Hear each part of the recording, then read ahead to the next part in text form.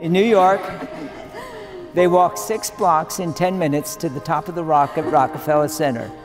Suddenly, Joe was on one knee offering her a beautiful ring and a wonderful proposal.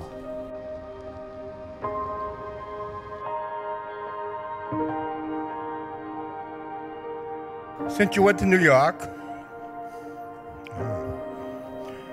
you've amazed me. No, he's, he's one of the kindest souls I've ever met in my life. And he's taught me a lot.